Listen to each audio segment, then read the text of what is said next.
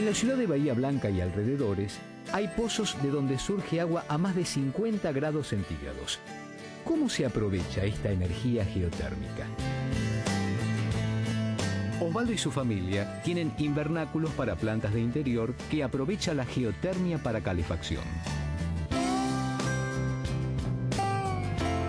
El predio contaba con un surgente que estaba abandonado. El surgente había sido dinamitado en la época del proceso militar. Luego estuvo un año sin surgir agua. Al año resurgió con capacidad de surgencia, o sea, empezó a funcionar. Y cuando nosotros lo tomamos, nos vimos obligados, por estar dinamitado, a reencamisarlo. Por suerte pudimos lograr el objetivo y a partir de ahí se empezó a hacer un uso del surgente. De la salida del pozo, por el caño verde que vemos ahí, eh, el agua va hacia el decantador. El decantador es un recipiente de hormigón de unos 36 metros cúbicos, 35, eh, que nos, posibilita tener una masa de agua caliente eh, muy grande, con mucha inercia térmica. Este es el decantador que, que tiene la reserva de agua caliente y acá adentro está sumergido el intercambiador calórico. Dentro del intercambiador calórico, el agua caliente del pozo transmite su calor a un circuito cerrado de agua que recorre los invernáculos. Nos encontramos aquí dentro de uno de los invernaderos calefaccionados por el agua que viene del decantador. El agua viene bajo tuberías, las tuberías están bajo tierra, eh, entran a cada batería de invernaderos y entran a varios colectores como este. El agua entra caliente, se divide en sectores, eh, cada sector es una cañería de, tubo PEX reticulado, el tubo se sumerge dentro del piso de cemento, toma una forma de serpentina de, ida y luego de retorno eh, y vuelve a esta parte que es el colector de retorno. El colector de retorno tiene el agua que se enfrió, al pasarle su calor al piso de cemento, digamos, y vuelve de nuevo al intercambiador para ser calentada. Para la producción de plantas de interior no se necesita este, eh, temperaturas muy altas, lo que sí se necesita temperaturas homogéneas. un ejemplo, una Diefenbachia, que es una planta de interior sumamente delicada a los fríos, a los calores, con una temperatura promedio de 16 grados, este, es factible producirla. Se emplearon modelos de bombas automáticas que con la apertura de canilla se genera un vacío, se prende la bomba y genera el, volumen de agua necesario para poder hacer cualquier tipo de uso. De hecho, el agua la usamos para cocinar, no tenemos este, calefones, no tenemos termotanque, el agua se usa para calefaccionar, se usa para comer, para tomar mate, para bañarnos, para todo. En el penal de Bahía Blanca esta energía se aprovecha en la cría de peces tropicales. Eh, tenemos un ingreso de agua de 56 grados de temperatura aproximada del surgente y entra a estos tanques de enfriamiento donde generamos un intercambio de agua de red con agua del surgente, aproximadamente en una proporción del 70% al 30% de agua de red, y esa vía de comunicación de agua entra a las primeras piletas de reproducción. Acá tenemos lo que es reproductor, eh, bueno, crías alevines de un mes a, un mes y medio y afuera tenemos ya de, a partir del mes y medio para, para adelante y lo tenemos afuera. Todo este proceso fue generado con nuestro trabajo de dirección y práctica previa pero eh, por medio de internos que fueron seleccionados para dicha actividad, que tenían ya una predisposición para un trabajo de campo específico. Este proyecto atípico ya tiene más de dos años de historia. Porque mucha gente no, piensa que, que, hay esto acá adentro, pero cada vez que vienen nos gusta verle el rostro porque se sorprenden ver algo tan lindo acá en una cárcel, dicen, pero no, no, hay mucha gente que se quiere quedar a trabajar con nosotros. Bueno, en la calle no tuvimos esa oportunidad y bueno, le damos gracias también a todos que nos dieron la oportunidad de estar acá. Indudablemente las aplicaciones en esta cuenca son, eh, muy variadas, en piscicultura, en calefacción de invernáculos, eh, este, en criaderos de hongo, criaderos de rana, es decir, la variación de aplicaciones agroindustriales es, puede ser cualquier eh, elemento que yo necesite calor y lo puedo sustituir por este recurso.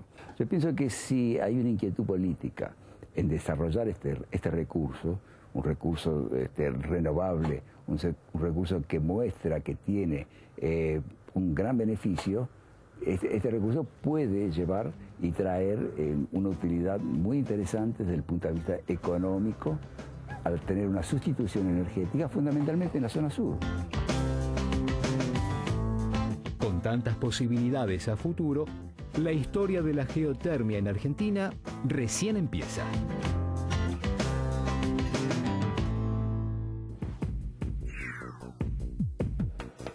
Ahora vamos a hablar de paleontología, como siempre con Sebastián Pesteguía. Hoy particularmente vamos a hablar de cocodrilos leones. ¿Cómo se llaman los cebecos? Cebecos. Cocodrilos leones. Sí, es una forma de, describirlos porque no eran cualquier cocodrilo. Eran cocodrilos terrestres, cocodrilos terrestres que caminaban con las patas bien levantadas, cocodrilos que rastreaban a una presa al trote, cocodrilos que en vez de tener la cabeza chata, el cráneo chato, tenían el cráneo alto, por ejemplo, fíjate como ese. ¿Y por qué, por qué son cocodrilos entonces? Si son tan distintos de los cocodrilos, que no están en el agua, caminan, tienen la cabeza distinta, etcétera, no se parecen a los cocodrilos. No, la verdad que no. Pero son cocodrilos porque comparten parientes en común con los cocodrilos. ¿sí? Son lo que llamamos, eh, en un gran sentido, cocodrilos.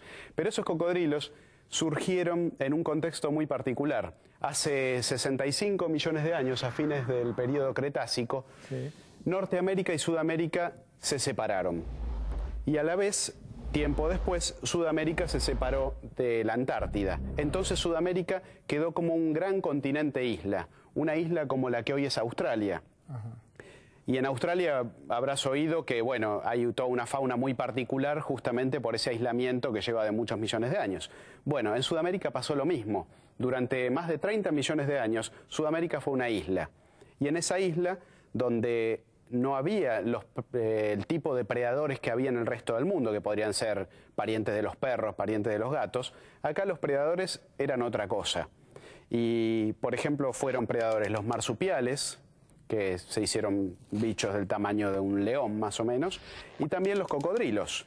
Y también otros predadores fueron unas, aves que son los, los, fororracos, que eran aves corredoras de más de dos metros y pico de altura, cazadoras. Y bueno, y entre toda esa, esa locura de, de, carnívoros extraños había serpientes gigantes de más de 15 metros de largo y estos cocodrilos leones, los cebecos. Y fíjate, entre todas las adaptaciones que tenían, tenían los dientes como un serruchito, ¿ves? Que ahí al borde tiene un serruchito. Bueno, esos son dientes muy parecidos a los de los dinosaurios carnívoros en realidad. Y le jugaron una muy mala pasada a Carlos Ameguino, el hermano de Florentino, que Florentino, digamos, estudiaba los fósiles en el, en el en el gabinete y Carlos iba al campo a buscarlos. Y Carlos encontraba estos dientes y dice, bueno, dinosaurios, debo estar en la época de los dinosaurios, en el Cretácico. Y en realidad no, estaba mucho más arriba, en el terciario, en pleno terciario, en otra época, pero los dientes de, los, de estos cebecos parecían dientes de dinosaurio y lo, hacían confundir con la época. ¿Y ya sabía Meguino qué edad tenían esos fósiles? Y él la calculaba a partir de, justamente, encontraba un fósil y decía esto por, eh, por las relaciones que tiene con, con otros fósiles que conozco, por la... ¿Sus estimaciones eran buenas? Por la capa. Más o menos, o sea, él hizo estimaciones relativas muy buenas, pero estaba equivocado con todo el paquete de un poquito más arriba y un poquito más abajo. o sea que una vez establecido dónde estaba, él podía comparar para arriba o para abajo, Exactamente. pero en forma absoluta estaba equivocado con respecto a la franja. Así es.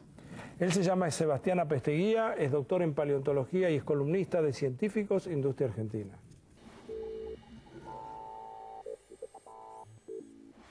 Ahora vamos a hablar en el programa con el doctor Conrado Baroto. Nos visita hoy Conrado Baroto, licenciado en física y doctor en física por el Instituto Balseiro.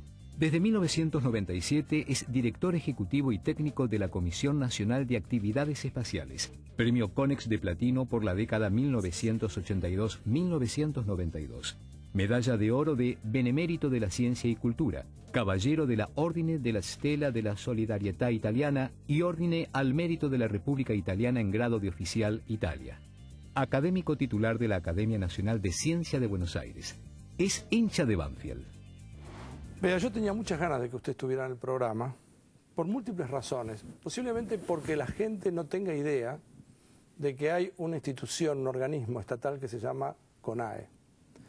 Pero que, hay un, que un organismo estatal, hay tantos organismos estatales y uno no tiene muy claro para qué, para qué sirven o para qué existen.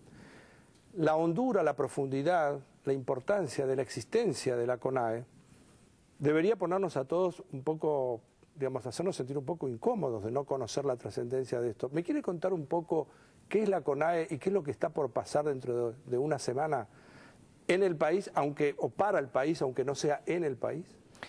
Bueno, eh, la CONAE, que, el, que es la Comisión Nacional de Actividades Espaciales, es el equivalente a la NASA en Estados Unidos, a la Agencia Espacial en Italia, a la Agencia Espacial Canadiense. O sea, son entes que los países eh, deciden construir con el objeto de aprovechar el espacio.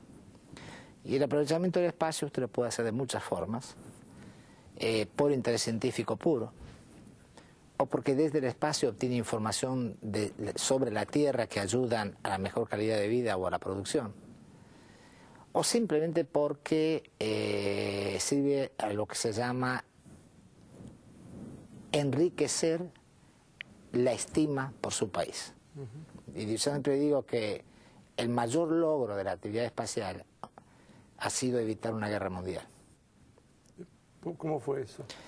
Mire, esto es muy interesante. Cuando uno mira lo que era la, la Guerra Fría en la década del 50 uh -huh.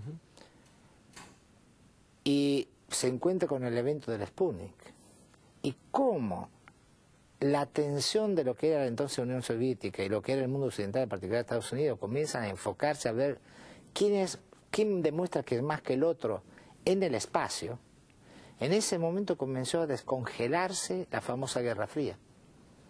Eh, y la mejor demostración fue que en un momento determinado comienzan a tener misiones espaciales conjuntas. ¿no? Comienzan juntas. O sea, por eso digo, es un tema que a veces no se le da la importancia eh, que tiene. Y del lado, si quiere verlo un poco más del lado político, en la Argentina hay una cosa interesante. La Comisión Nacional de Actividades Espaciales está en el Ministerio de Relaciones Exteriores. Uh -huh. Y está allí porque el país considera que es una herramienta importante de política exterior y de integración. Y como ejemplo siempre decimos, cuando usted mira a la Unión Europea, previo a la Unión Europea tuvo la comunidad, tuvo un montón de cosas, pero previo a eso, lo que realmente mostró el camino, que esos países que tuvieron dos guerras civiles, porque básicamente fueron así, terribles en, en 50 años, podían comenzar a vivir juntos y hacer cosas juntos, son dos eventos puramente tecnológicos. La Agencia Espacial Europea y el Euratom.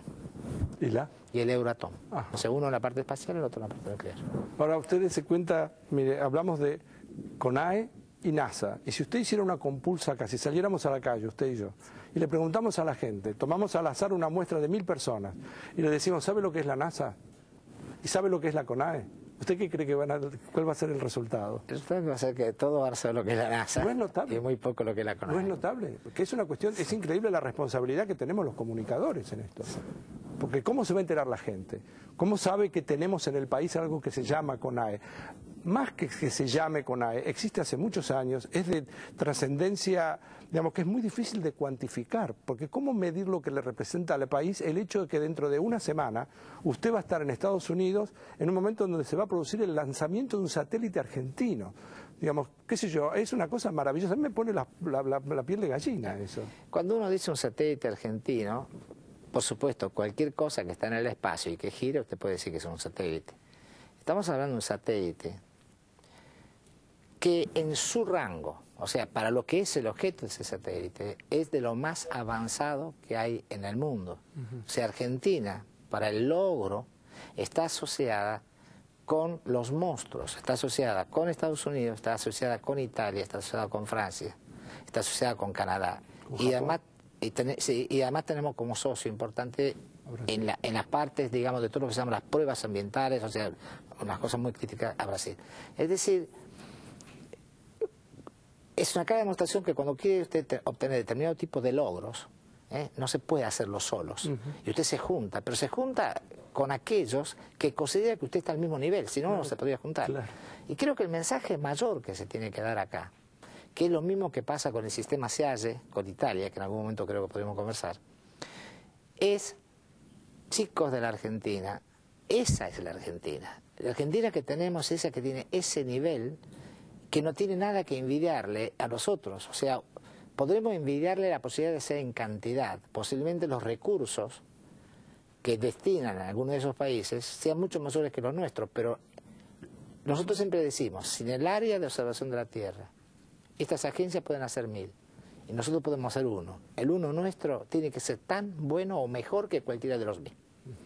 ¿Y lo es? Bueno, evidentemente pareciera que sí. No es el primero. No es el primero. ¿Por qué no me cuenta un poquito, por qué no le cuenta a la gente cuántos de estos, porque claro, yo los llamo satélites argentinos. ¿Dónde se hizo este satélite? ¿Dónde se produjo, dónde se manufacturó? Mire, en todo el país. En todo- este este es un aspecto terriblemente importante. Porque el satélite, eh, cuando se habla de un satélite de estas características tan avanzadas, tiene algunas, si quiere, lo puede dividir en pedazos, ¿no? En capas. Eh, en- sí, no son, no son separables entre sí, pero por lo menos para comprender. Usted tiene que tener lo que se llama la plataforma satelital, que es la que de algún modo soporta todos los sistemas de comunicaciones, todos los sistemas de potencia, es la que le da vida a lo que usted pone en el satélite para obtener los resultados que busca. Entonces, esa plataforma satelital, en gran medida, no toda, pero en gran medida, se hace en una empresa contesta muy importante que es Simba. Y cuando digo en gran medida me refiero porque los paneles solares, que es una parte terriblemente importante, se han hecho en la Comisión de Energía Atómica. Cuando usted va a los instrumentos que lleva el satélite arriba, que es la razón de ser del satélite, intervino todo el sistema científico tecnológico del país, todo. Es extraordinario. Es, eh, todo, porque las cosas, eh, digamos, eh, creo que si me pongo a contarle todos los entes del sistema que han intervenido, seguramente algunos se van a enojar porque me voy a olvidar de decirlo. Pero es impresionante la cantidad que han, que han participado. Por eso siempre decimos que estos son los grandes proyectos nacionales. Lo que Lino define justamente así, ¿no? son esos proyectos que, que son para todo el país, eh, donde participa todo el país, donde es el país el que muestra que es capaz de hacerlos. ¿Cuánto sale hacer esto? Se lo pregunto, no porque, me- mire, cualquier cosa va a ser barata, así que se lo digo no porque me preocupe Sí. lo que va a venir en consecuencia después de que usted me dé la cifra aproximada, no va a ser, uh, qué barbaridad, sino al contrario, qué lástima que no fue más, que no podamos hacer dos. Mire, eh, creo que el- eh, yo lo encargaría de otra forma, en vez A de ver. decir que lástima. Eh, hay una realidad hoy, y la realidad que hay hoy es que eh, cada uno puede tener el punto de vista que quiera desde el aspecto político, eso no hay duda, somos... Algunas veces me hacen preguntas y yo respondo, mire, si esta pregunta se la hace a 10 argentinos, va a obtener 10 respuestas diferentes. Pero creo que hay un convencimiento generalizado de que hoy eh, no solo el gobierno, creo que lo más importante es la sociedad. O sea, el gobierno ha conseguido meter esta idea en la sociedad. Es que la Argentina realmente va a recuperar y va a avanzar en la medida que entienda el impacto que la ciencia y la tecnología tienen en la economía. O sea, esto, es- esto es esencial. Esta es la esencia. del- Eso lo entiende muy bien el ministro de Ciencia y eh, Tecnología. yo creo que lo entiende muy bien la Presidenta también. Realmente es algo que yo siempre digo es una convicción íntima que tiene. Usted habla con ella y realmente es, es- es una convicción íntima, lo cual es muy importante. Ahora, cuando uno tiene esto claro, ya las cifras no son tan importantes. Claro. Le puedo dar cifras si quiere. Eh, del lado argentino, esta es una misión que debe haber rondado en total, en toda la inversión, unos 50, 50 y algo de millones de dólares. El uno de los instrumentos que pone Estados Unidos en esa misión cuesta 200 millones de dólares. Si ese instrumento posiblemente lo hiciéramos nosotros, saldría al, del orden de los costos nuestros. Quiero decirle, lo que nosotros hacemos a costos internacionales lo tienen que multiplicar por bastante. Y este es otro ejemplo. Somos terriblemente competitivos cuando vamos a temas de muy alta tecnología. O Argentina es realmente un país para eso. Vamos a hacer una pausa con el doctor Conrado Baroto y seguimos en Científicos Industria Argentina.